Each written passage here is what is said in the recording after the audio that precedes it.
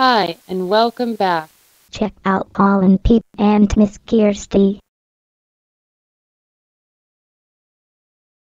Hi, Miss Kirsty. Hi, Cole. It's been really fun having you as a teacher this year at Bridge School. Thanks. I like our science lessons, especially learning oh. about the properties of matter. You like When we got to look at solids, liquids, and gases. Hmm. What kind of subjects do your students like to study? Ooh, my students. You know, they also like doing science and doing experiments and feeling things like we did. And they also like doing fun stuff like playing games. I think those are their favorite subjects is science and games. Cool, thanks.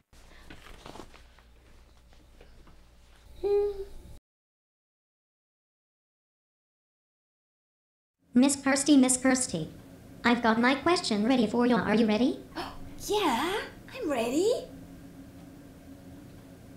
Okay. One thing that's different about me is that I speak English and Spanish. Do you or your students speak any other languages? You know what? My students do.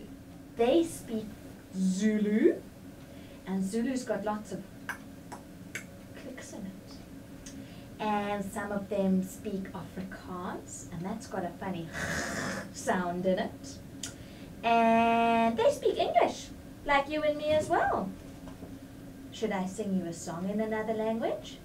Singaba hamba yotina kulum klaba siya kaya ezulwini singaba hamba yotina kulum klaba siya kaya ezulwini siti hallelujah siti hallelujah. Hallelujah hallelujah hallelujah. Siti hallelujah siti hallelujah. Hallelujah hallelujah hallelujah. Neat.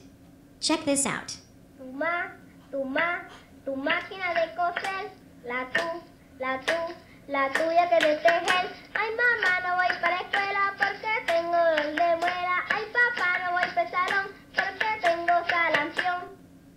Wow.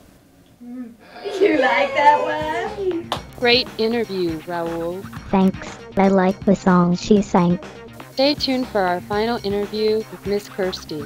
This is how we say goodbye. Goodbye.